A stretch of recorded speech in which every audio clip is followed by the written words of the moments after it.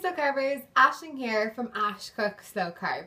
This week I'm going to be doing a trout dish. Um, it's with roasted Mediterranean vegetables and almonds and it's a really simple dish to cook.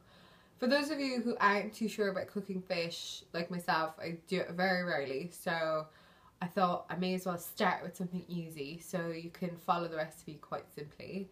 Um, if you have any questions, let me know and we're going to get started. So here are all the ingredients you will need uh, for this week's recipe. I have tomatoes and courgettes in this bowl, uh, peppers, sweet peppers, onions and garlic in this one. We're basically going to put them all in the roasting tray and pop it in the oven for about 20 minutes and then we add our fish. Um, so I'm going to mix it all up and just show you what it looks like before I put it into the oven. So that's everything in with the olive oil and balsamic vinegar. Um, I do two tablespoons of each and then lots of salt and pepper.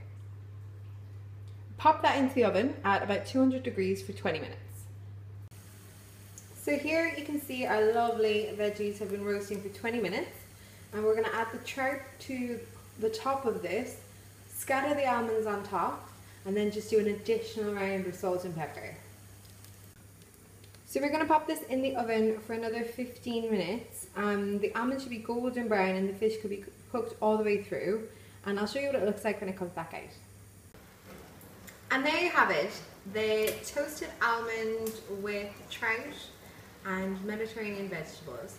Really simple to do, just bung everything in the oven. I'm also cooking my dinner, so you can see what I'm having. An omelette with some peas and a big giant plate of broccoli. basically what I, my standard dishes. This.